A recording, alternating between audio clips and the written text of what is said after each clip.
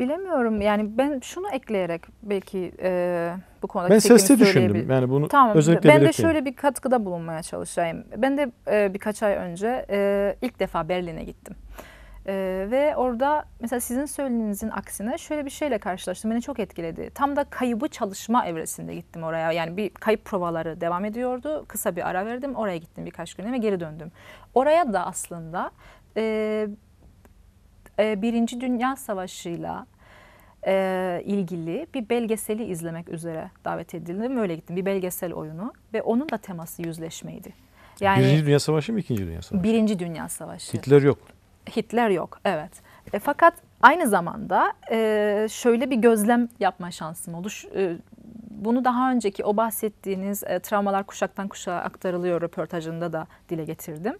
E, ilk defa Berlin'e gidiyorum ya herhalde her şey daha çok gözüme çarpıyor. E, yolda yürürken e, ka- kaldırım taşlarının kimilerinin e, parlak sarı renkte olduğunu gördüm. Pirinçten yapılmış kaplamalar vardı üzerlerinde. Yak- yakından eğilip bakınca da bazı isimler yazıldığını gördüm orada. Sorduğum zaman da bana dendi ki e, oradaki e, eğer o bir apartmanın önündeyse mesela o küçük taş e, o apartmana demek ki öldürülen bir Yahudi yaşıyordu.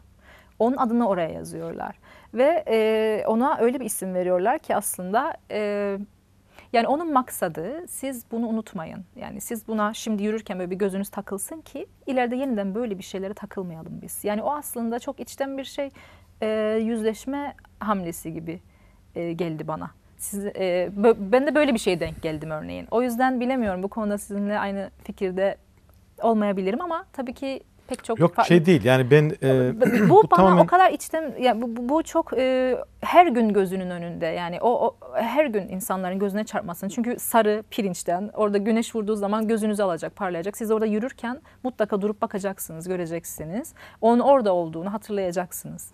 aslında nerede durduğunuz ve nerede olduğunuz çok önemli. Çünkü bir taraftan da diyorlar ki işte e, savaşa hazır olan barışı korur. Şimdi siz neredesiniz? Hangi açıdan bakıyorsunuz? Hangi penceredesiniz? Yani geçmişi mesela işte bir Yahudiyseniz onlarla Yahudi olduğunuzu ve o soykırımı siz tekrar tekrar hatırlıyorsunuz. Ama bir Almansanız belki ya ben bunu burada görmek istemiyorum. Tamam o benim geçmişim. Evet yapıldı. Yani toplumsal olarak tabii toplumsal geçmişten bahsediyoruz. Bireyin geçmişinden bahsetmiyoruz. Belki hala yaşayanlar daha vardır onu bilemem ama e, nerede olduğunuz çok önemli aslında. Kesinlikle. O sizin evet. neye nasıl baktığınızı çok güzel gösterir. Evet. Bu işte aslında belki de sorgulanması gerekli olan, kurcalanması gerekli olan bu.